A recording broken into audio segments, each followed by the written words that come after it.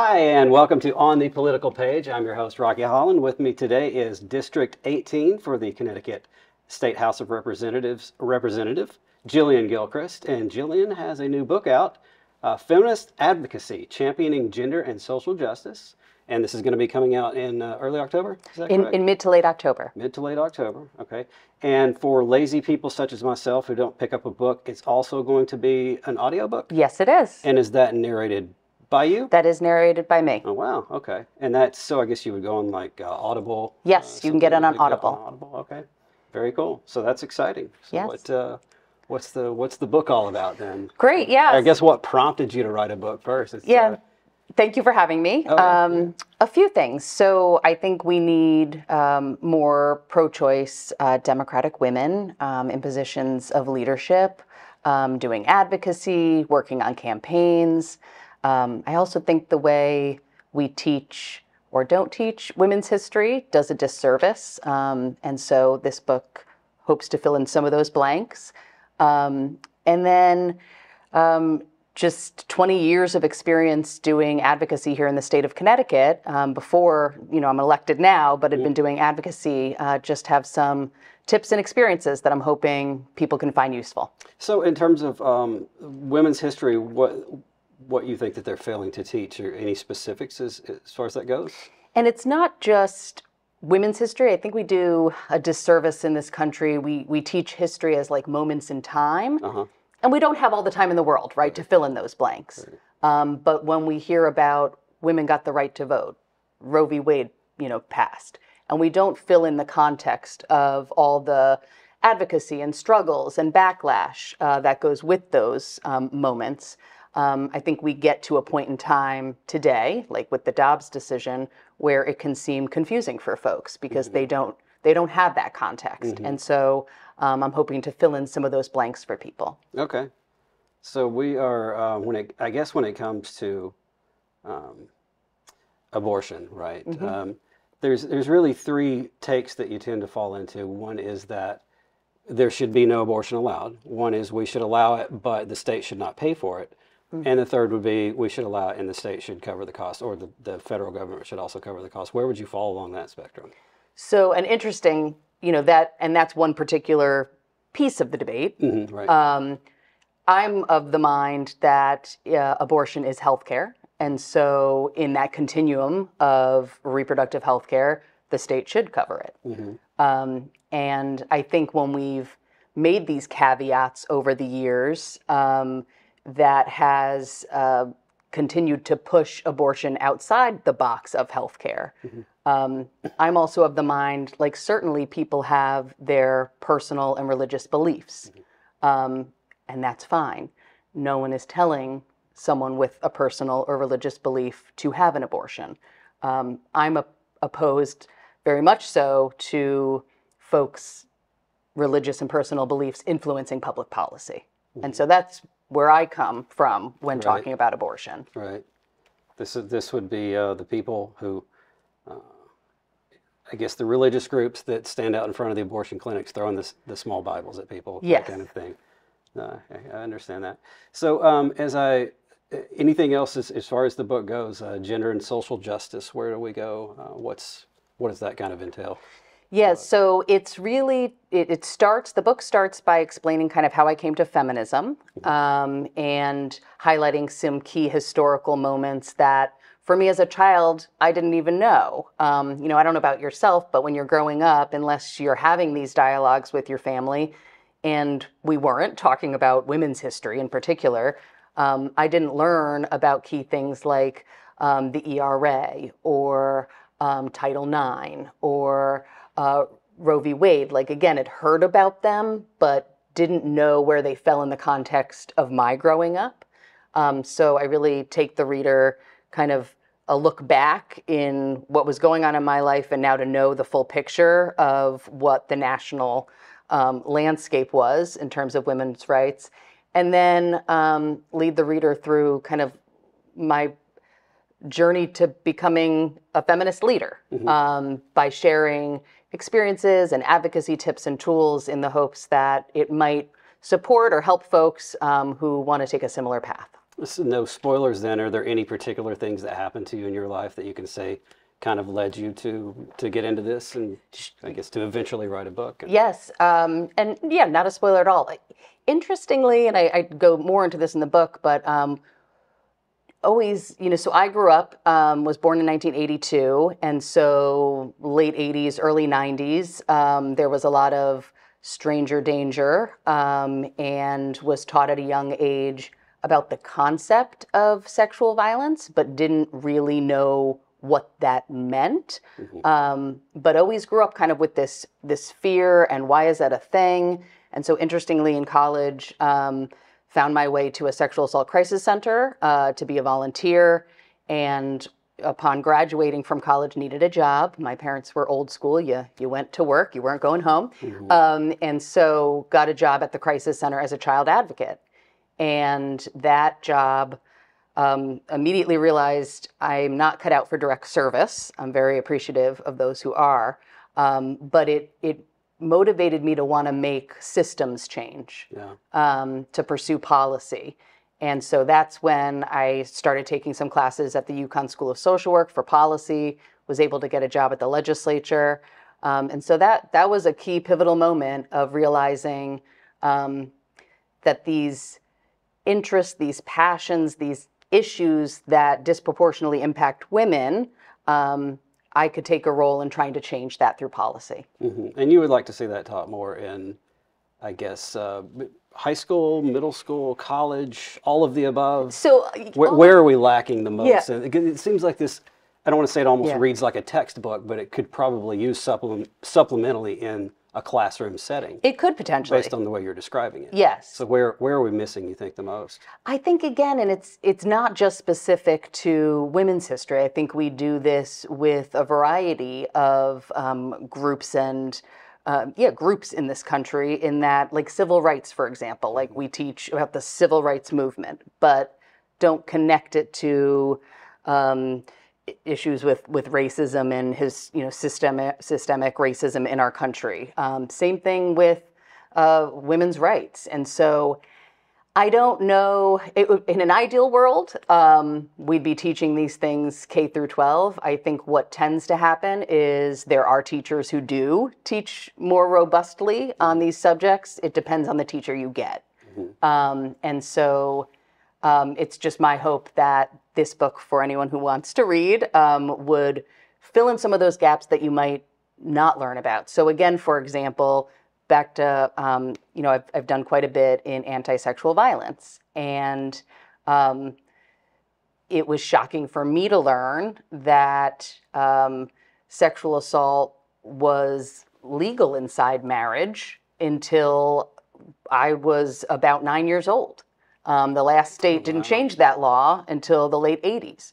Well, when we fast forward today, and and you know the Me Too movement happened, and we're having conversations about consent, I think it's helpful for folks to know kind of where the journey has come from.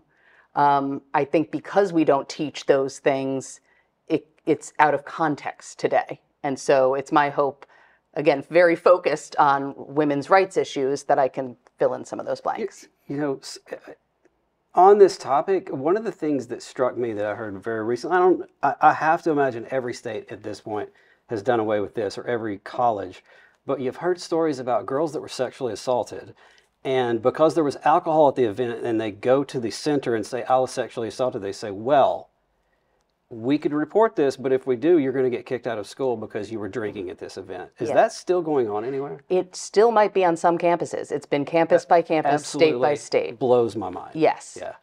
And yeah, and that again, so good point. So um, during when I was working at the Connecticut Alliance to End Sexual Violence, which was back, I believe it was 2016, that's when students at the University of Connecticut filed um, a, a lawsuit, a civil rights lawsuit, um, arguing that their civil rights had been violated by the university. Um, and at that time, um, most campuses in the country maybe were piecemealing together policies, but there was no state policy about what uh, college campuses needed to do to address sexual violence. Um, and so, you know, when you're raising that point about how shocking um, it is that someone could go and report sexual violence and be told, well, actually, now you're in trouble because you were drinking. Um, my hope is that this illustrates, yeah, change takes time. Um, it's you know, it's step by step, and we need more people in this in this fight, in this journey. And here's some information on like how we've gotten to where we are. Yeah. Uh, when we talk about um, kind of domestic violence, domestic abuse, there's so many tentacles with this because it's not just someone physically harming their spouse. There's the financial abuse. There, i- and, and when it comes to things like that, you know, you see abuse. The abusers are able to continue the abuse if they can convince the abused that there's nothing that you can do. I'm controlling the finances uh, if you decide to do something, you're going to be destitute. People hear abuse and they think that it's just the physical violence. There is uh, um, just constantly telling someone, putting them down in front of other people. There's there's so many areas of abuse that uh, can cause just as much harm in so many ways that I don't think people are really. As far as on the state level, do you feel like we're doing enough to see to it that someone, say, who is in a situation where they're being verbally abused or um, undergoing financial abuse, do you think we're doing enough? Because obviously, if you come in with a black eye, that's going to be Yeah. taken the way that the system is set up now. But there are still some loopholes where someone can commit abuse and get away with it for a long period of time. And and do you feel that the state is is doing enough, or is there more that we could do in that regard? And so I, there's certainly more we could be doing. Um, we've been making incremental changes um, and have added to the definition of domestic vi- uh, violence financial abuse. Um, we've also talked about coercive control. Um, but an, another thing I, I touch on in the book is this idea that you can pass public policy, but you also need to be working on culture change. And so it's very much that. Like we can we can pass a law but until we really also implement the law the practices go into place and we really try and change a culture where certain things are accepted. The other piece you know as you're talking about all the different tentacles of domestic violence um, speak to the importance of um, listening to people's experiences. Because you know for for many people they hear about I'll just like a woman being beaten by her husband. Well, of course she would leave. They don't, you know, it's we need to listen to the stories to understand what are the barriers um, and how long it's been going on and how systematic. And so it really is another thing I, you know, uh, harp on in the book is the importance of listening to experiences to better inform how we make policy change. Yeah, it's. Uh, I think the most common reason that you hear is I want to stay together for the kids, for the sake of the kids, and uh, I I don't really want to insert my opinion on that because there can be a lot of people can be very opinionated on what's the better choice, but uh, when it comes to abuse, I I I. I I will insert my opinion. Yeah. I think I, I think it's I think it's kind of tough to uh, always feel like staying with the kids if it's if the abuse is really really bad. But um, yeah, so that's uh, we'll we'll skip away from this for a moment. Um, we've covered enough of that. Uh, something that um, I I noticed that you were into. This is interesting. Uh, endometriosis law. Yes. There is a uh, law 6672 establishing Endo Rise. Uh, it's requiring school nurses to establish endometriosis data and biorepository program. In layman's terms, can you tell us kind of what that means? And I'm going to keep so tie into the book. This is another reason I think it's so important for women um, to serve in office and be involved in advocacy because endometriosis is a disease that impacts one in ten individuals with a uterus, disproportionately women. And um, unfortunately, it takes on average 10 years to diagnose. Um, and so, for there's also um, different uh, levels. So, some people have, you know, have a type four um, endometriosis. Um, and so, it can connect um, its tissue, uh, similar to tissue found in the uterus, that uh, that sh- would shed each month, that connects itself to different parts of the body. And so um, women are in a great deal of pain. Um, it causes 50% of infertility in the country. Um, and the most mind blowing thing I learned when I first learned about this is how little is known. Um, so, healthcare providers are not taught about this. So, you have all of these women sharing these stories of from an early age being in so much pain every time they get their period and just being told that's normal, it's in your head, stop being so dramatic. Um, and that can really take a toll on people. And then they tell me years later, they finally get a diagnosis. And then to be told, oh, now you can't have kids. Like, oh, you did have something wrong Wow. and you can't have kids. So decided to form um, an endometriosis working group at the legislature and bring together um, different professionals, different state agencies, healthcare providers, advocates, those living with the disease. Uh, we have national folks who participate just to really learn what's going on, what is it, and what could we potentially do in the state. And one of the big pieces is that there's still not a diagnostic tool or a cure or treatment. I, as I was reading through it, I was like, this sounds familiar. Now, I full HIPAA. My wife gave me permission to say she was diagnosed with endometriosis when she was younger, and then later in life they said she does not have it. And then after having kids, they said, "Oh, okay, we have something called microscopic endometriosis." And so, misdiagnosis. Yes, and now you've explained to us why because we're not we're not teaching it enough. Yes, I guess at the at, at the, nurse level, at the all levels. at all levels. So OBGYNs, nurses, um, primary care, Yeah. pediatricians, fertility specialists. So you have women going for multiple treatments for fertility and then being told, oh, you have endometriosis. Like this was never working. And actually, it's flaring it up. Like it's worse for you. Yeah. Um, and so the EndoRise is a s- uh, the first of its kind in the country, um, a biorepository. It's collecting samples with the goal being that researchers at Jackson Laboratory in partnership with UConn Health, and then they're actually going to branch out to all the hospitals in the state to get the samples, will be able to do research to try and get a diagnostic. Because the only way you can get official diagnosis currently is invasive surgery. And by diagnosing it and taking care of it uh, in kind of the nascent stages, this uh, might allow someone who otherwise wouldn't be able to have kids if it was left alone to have kids. That Yes. Now, there's still, unfortunately, many barriers. Um, at the federal level, uh, the insurance coding is not uh, accurate, and so insurance doesn't, on a whole, cover um, the surgery that would be needed to remove it. And so we're working on that because currently it's quite expensive um, to get the surgery folks need. Um, but it's kind of like once the tentacles again, um, once we started working on this issue, it was like, we need to educate people, right? We need to change the insurance codes. We need to educate uh, the doctors. And so we're trying, you know, we're taking bits at a time um, and raising awareness.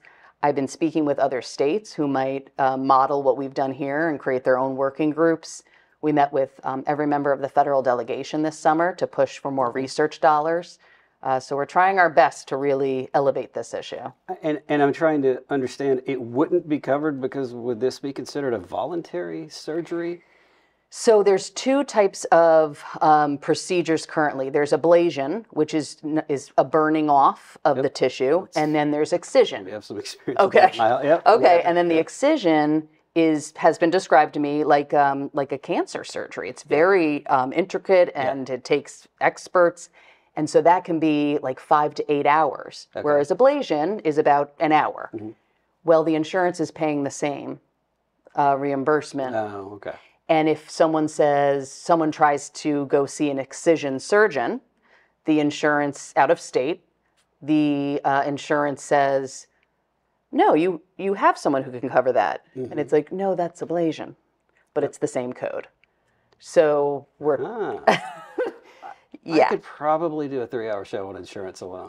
It- there- there- Yes. there- our, our theme today, by the way, is tentacles. Apparently, But, uh, there are a lot of tentacles with Yeah. insurance, with the education of insurance, with how insurance is impacting uh, the the bottom, the amount of money that people are, are able to make, Yep. and then you've got um, the prescription drug end of it, what's covered under insurance, and you're actually seeing situations where the insurance companies are dictating health care Yes. for people. Yes. And I, I, I work in pharmacy, and what I see happen is the insurance companies say, we're not going to pay for this medicine. Um, so go back to the doctor and tell them to prescribe something else. And so they, they find, that, and it might happen two or three times before they can finally land on something where the insurance company is going, okay, this is what your care is going to accept. Yeah. Yeah.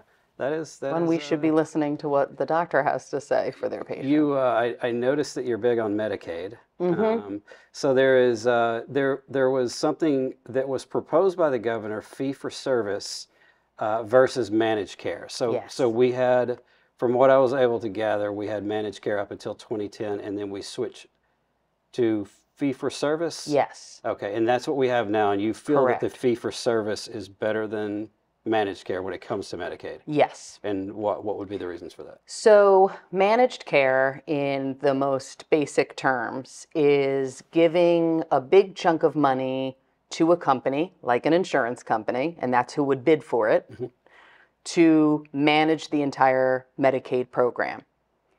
Um, I've been told that when we did that in the past, all that data, all that information on who's being served, if how long they're waiting to see a provider, is hard to come by because now that's That's theirs. owned by the insurance.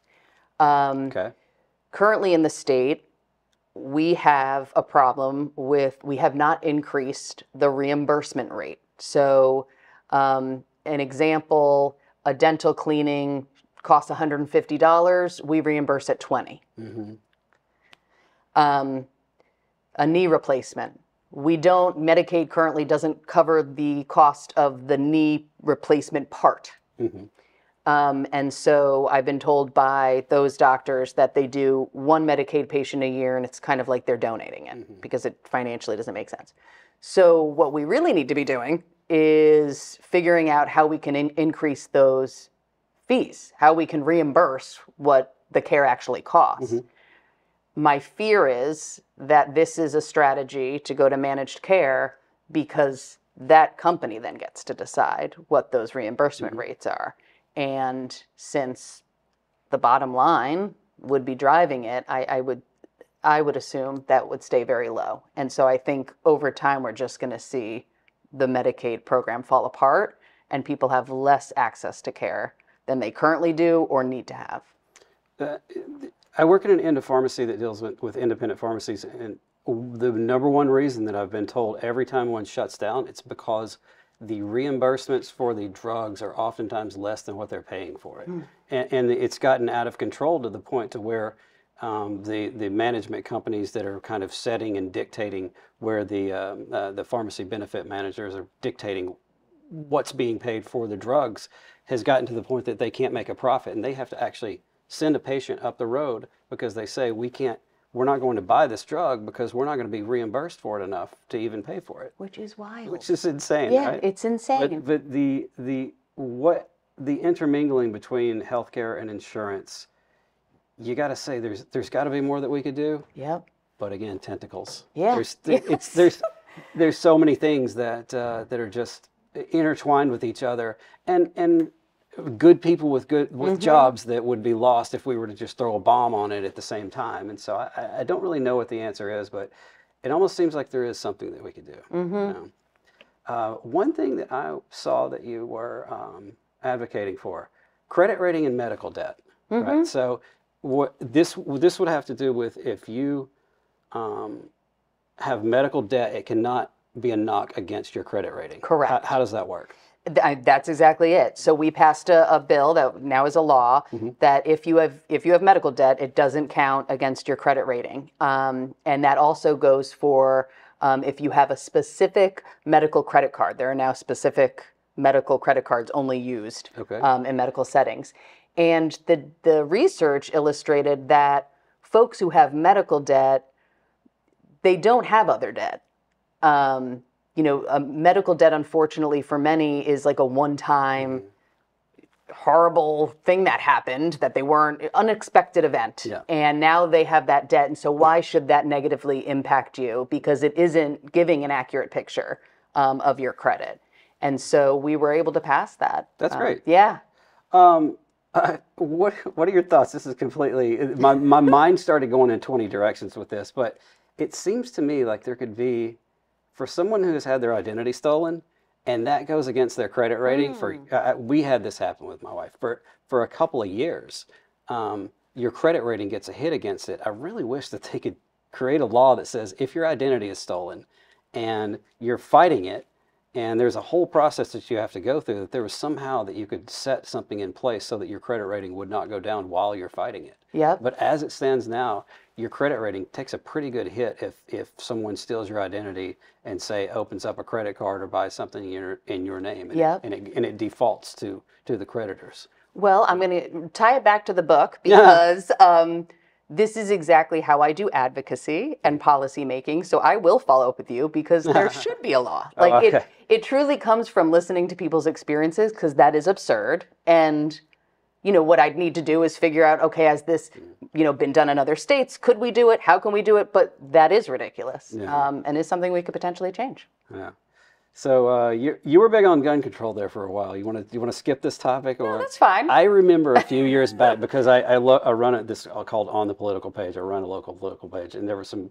the the two A crowd really got upset when you wanted to tax bullets. yes. And I, I'm please don't get upset when I No. say that. I thought it was hysterical uh, how upset they got because I was like, okay, you're, so you wanted to tax bullets, but Yeah. um, people got really mad. yes, they did. they got they got madder at that than if you like wanted to take away their AR-47. Yeah. Like I'm, I'm so what what was how did that I go? think it and again. it- So address this in the book. Um, I think because it hit two pieces. I think it was it tax Uh-huh. and um, guns. Um, but I stand by that proposal. It has shifted over the years, and actually, as of last year, we wouldn't be the first state anymore. California has done it, um, and so. The point is to create a sustainable funding stream for gun violence prevention programs. And so it would be a tax on ammunition. Um, California has actually taken it a step further and they've done ammunition and guns. Um, policy, again, change takes time. So um, introduced the bill the year before the pandemic, the pandemic year, obviously that killed it. Um, pandemic. Yeah. so I, we introduced it again last year, had some more conversations. This one's definitely a policy that needs, you know, time to, to breathe. Yeah, okay. I, I think it was Chris Rock that put it best when he said, "Make the bullets cost five thousand dollars because if a bullet costs five thousand dollars, there will be no more innocent bystanders." So that's that actually I think that was "Bring the Pain." Yeah. So- somewhere in the early 90s. I just aged myself there. We've got very little time left, but uh, I want to say thanks for coming on the show. Uh, the new book that's coming out, Feminist Advocacy Championing Gender and Social Justice, out in early October, and audiobook as well. Yep. That you've spent a lot of time on, I'm sure. That's uh, uh, for your next book. If you need, I mean, my, you hear my voice here. It's not if you need somebody to narrate that one. I'll Awesome. Go ahead and offer my services up for that. But uh, anyway, so that's great. Thank you so much for having me. And uh, that'll be uh, uh, early to mid October, and we'll be doing book signings. And Yep. I guess we'll see yes. you. Book launch is the 22nd. All right. Well, this has been the latest episode of On the Political Page. I'm your host, Rocky Holland. With me today, District 18th, running for re-election, Yes. unopposed. But uh, so we won't we won't cover that. But thank you, Jillian, for coming on today. Thank you for having me. Sure.